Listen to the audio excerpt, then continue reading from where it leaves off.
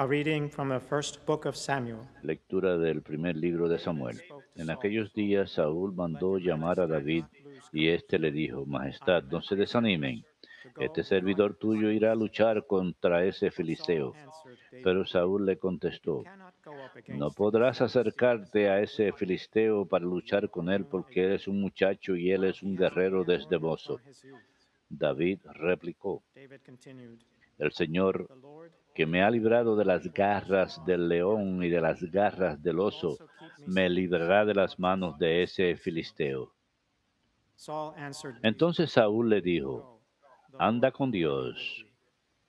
Agarró la callada escogió cinco cantos de arroyo, se los echó al zurrón, empuñó la honda y se acercó al filisteo. Este, precedido de su escudero, iba avanzando acercándose a David. Lo miró de arriba abajo y lo despreció porque era un muchacho de buen color y guapo, y le gritó, ¿soy yo un perro para que vengas a mí con un palo? Luego maldijo a David invocando a sus dioses y le dijo, ven acá y echaré tu carne a las aves del cielo y a las fieras del campo.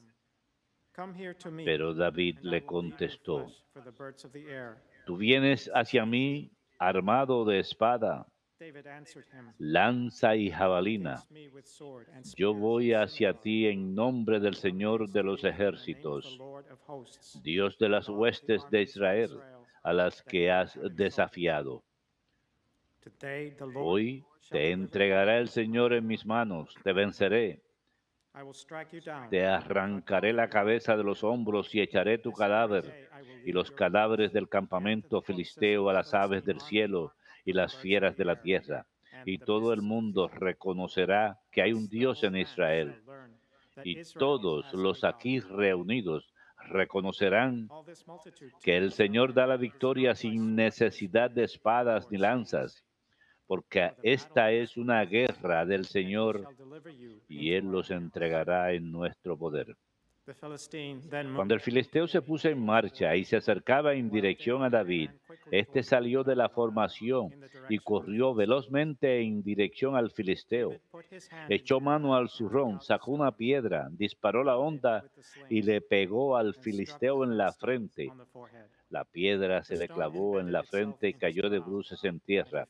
Así venció David al Filisteo con la honda y una piedra. Lo mató de un golpe sin empuñar espada. David corrió y se paró junto al Filisteo. Le agarró la espada, le, la desenvainó y lo remató cortándole la cabeza. Los filisteos, viendo que su campeón había muerto, huyeron. Verbum Domini.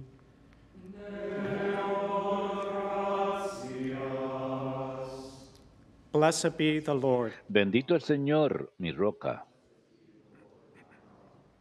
Blessed be the Lord, my Bendito el Señor, mi roca, que adiestra mis manos para el combate, mis dedos, mis dedos para la pelea. Bendito sea el Señor, mi roca, mi bienhechor, mi alcázar, el baluarte donde me pongo a salvo, mi escudo y mi refugio, que me somete los pueblos. Bendito el Señor, mi roca. Oh Dios mío, te cantaré un cántico nuevo. Tocaré para ti el arpa de diez cuerdas. Para ti que das la victoria a los reyes y salvas a David su siervo. Defiéndeme de la espada cruel. Bendito sea el Señor mi Dios.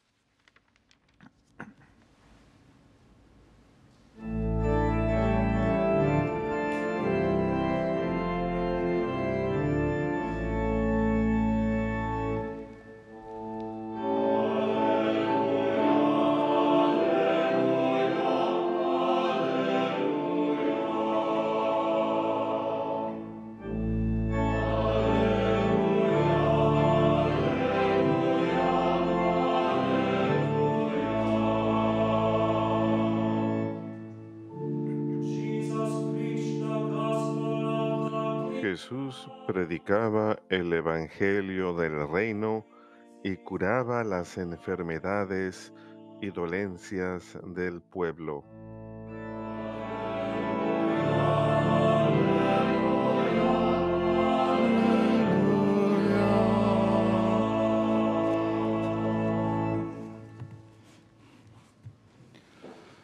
Dominus vobiscum.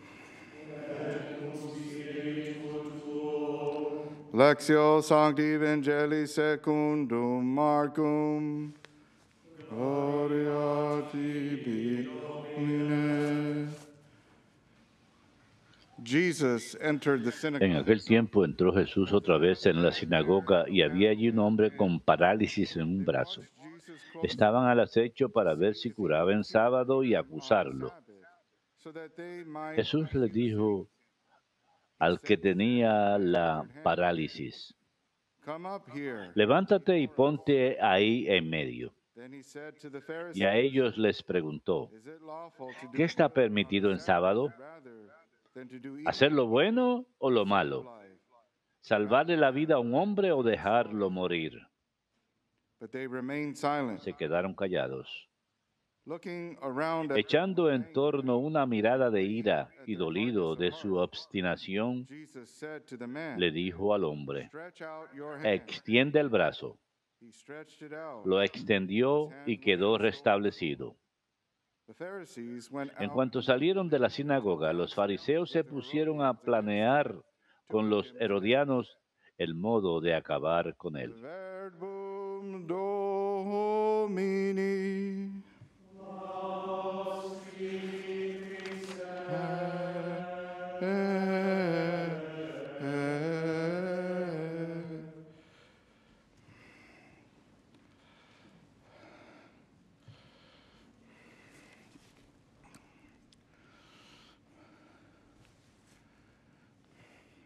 In our spiritual lives, En nuestras vidas espirituales vamos a tener muchas batallas. Hay guerra espiritual. Jesús nos habla del diablo, que viene a matar, a robar y destruir. El diablo nunca. Juega según las reglas. Él busca nuestras vulnerabilidades. Viene a atacar nuestras debilidades, tratando de alejarnos de Dios, para matar nuestras almas, para destruirnos completamente. Pero hoy men, one in the Old vemos a dos hombres santos, uno en el Antiguo Testamento y uno hombre santo, quienes tuvieron batallas propias, pero ellos confiaron en el Señor y vencieron. Así que nos enseñan cómo confiar en Dios, cómo entregarle nuestras batallas al Señor y cómo ser victoriosos. Aquí, en el ah, libro de Samuel, vemos que David se enfrenta a un gigante, a Goliat, y él gana la batalla. Pero ¿cómo hace para ganar la batalla? Lo que aprendemos de él es una forma en que nosotros también podemos salir victoriosos en nuestras propias batallas espirituales o en los desafíos que enfrentamos en nuestras vidas. David, quien ya es conocido, o que es un hombre que imita a Dios, en otras palabras, él ve a Dios primero. Dios lo es todo para él y todo lo que él desea y quiere hacer. Es complacer al Señor. Así que, primero que nada, ve que hace falta vencer ese gigante. Hay una especie de competencia. ¿Quién se enfrentará a ese filisteo, Goliat? Y David está dispuesto a hacerlo. Primero que nada, Says, "Hey, él va donde Saúl y le dice, ánimo, y le pregunta si él es el que está dispuesto a enfrentarse al gigante en batalla. Ahora mismo David está sometido a la autoridad de Saúl, así que por obediencia y respeto, él le pregunta si puede hacerlo y por supuesto Saúl, tratando de darle un consejo, una advertencia, le dice, mira David, este gigante Goliat, él es un hombre adiestrado para la guerra desde su juventud y ahora es mayor y tiene experiencia en batalla y tú eres apenas un muchacho, eres un joven. E inmediatamente, aún estando bajo su obediencia, le dice, sí, es verdad, pero le dice que él es hijo de Dios, que él le pertenece a Dios y que Dios lo ha librado antes de las garras del león y del oso. Así que Saúl le, le dice, está bien, ve y que el Señor te ayude. Adelante.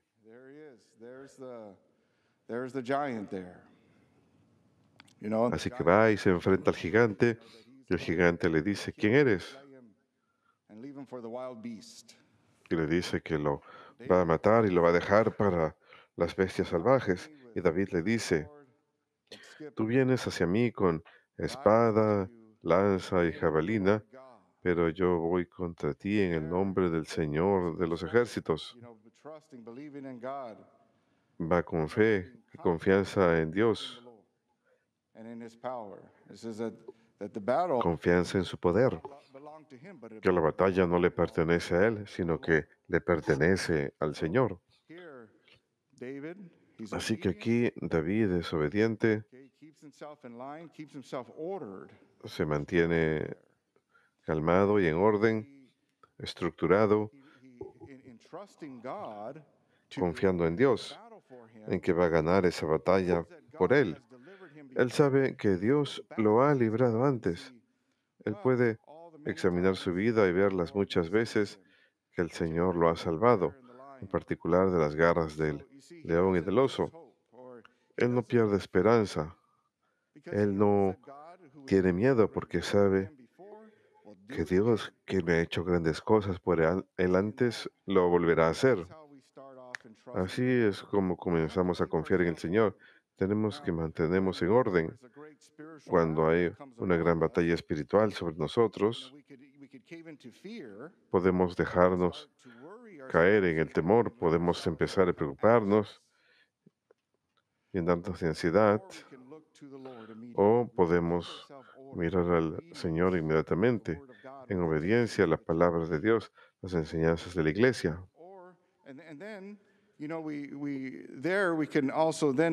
Y ahí entonces también podemos mirar a David, el ejemplo de David. Él sabe que Dios ha hecho grandes cosas por él, por él antes, así que él confía en que Dios volverá a hacerlo. Debemos hacer lo mismo. Dios ha hecho muchas grandes cosas en sus vidas anteriormente y lo volverá a hacer. A veces se trata de una batalla más intensa. La tribulación es más severa. Pero esto es para que Dios pueda aumentar nuestra fe, para que seamos más dependientes de Él. Y sí, este es un sufrimiento, es una purga, pero si cooperamos con Dios y permanecemos en orden, entonces aumentaremos en virtud, en particular en amor, porque permanecemos fijos en Dios, permanecemos firmes en Él, confiando en Él. Y entonces, una vez que sabemos que estamos ahí, la batalla realmente le pertenece a Dios. Y Él ha de obrar algo bueno a partir de esto. Así es como se hace. Y vemos esto aquí en el santo que celebramos hoy, San Antonio Abad. San Antonio Abad. Vio alrededor del año 251, murió alrededor del año 356 después de Cristo. Fue un hombre que venía de una familia de dinero, sus padres fallecieron, él tenía una hermana a que cuidar y en cierta ocasión estaba yendo a la iglesia pensando en las cosas santas y en la palabra de Dios que estaba predicada, escuchó Mateo capítulo 19 y eso inmediatamente entró a su corazón, la palabra de Dios. Si deseas ser perfecto, vende todo lo que tienes, ven y sígueme.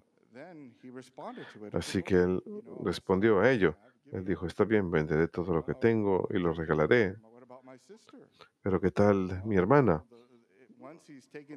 Una vez que él tome ese paso en la fe, inmediatamente le dice que sí al Señor y se siente inspirado por Dios. Y dice, sí, en el convento cercano la pueden cuidar. Y sí, efectivamente, la deja y la, les deja algo de dinero y se va a servir a Dios. Y por supuesto, está algo preocupado ahí. Sigue, ha conservado algunas de sus posesiones, pero el Señor le dice, le pide que confíe incluso más en Él. Le dice, no pienses en el día de mañana. Así que se lo da todo a Dios. Y entonces va al desierto, reza, vive una vida de austeridad, siempre en la oración. Y habría de encontrar muchas batallas espirituales, muchas batallas interiores. Muchas veces se enfrentaría cara a cara con el diablo mismo.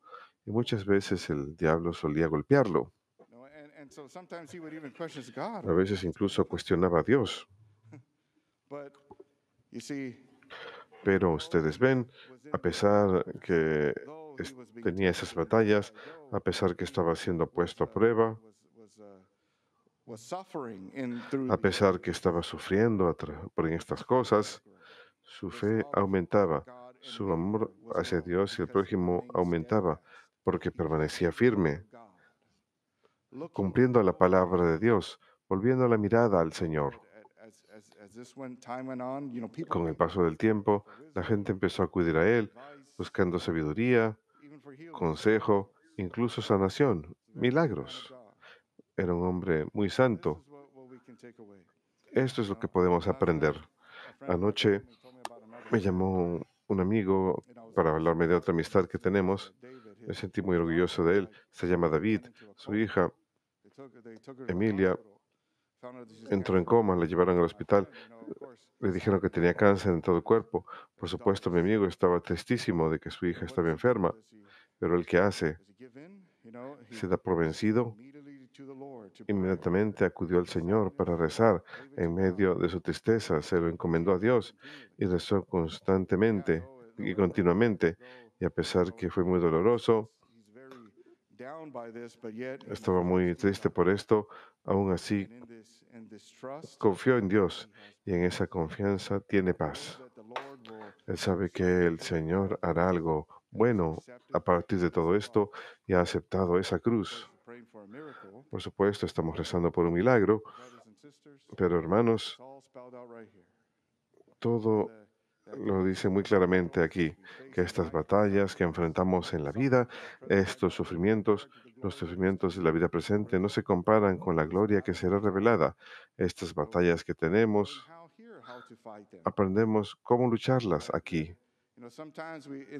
A veces en la batalla podemos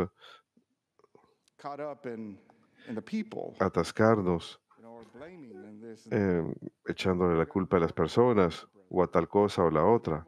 El diablo es el acusador de los hermanos. El diablo no hace nada bueno. Por eso San Pablo nos dice que la batalla no es contra la carne y la sangre, sino contra principados y potestades. San Pablo nos dice en otro lugar que las armas de guerra no son carnales, sino de Dios. ¿Cuáles son esas armas? Aquí está hablando de sentido figurado, lo que acabo de decir, la obediencia, el orden, la palabra de Dios, buscando santidad, confiando en el Señor, conscientes que Él ha de proveer, al igual que San Antonio Abad, quien fue golpeado por el diablo y sin embargo no se vio aplastado, sin embargo su fe, su amor por el Señor se fortalecieron y gracias a ello tuvo una vida muy fructífera. El Señor hará lo mismo con nosotros, pero comienza cuando volvemos la mirada a Él, confiando en Él, conscientes que Él siempre sacará bueno de todo lo que enfrentemos. Que Dios los bendiga a todos.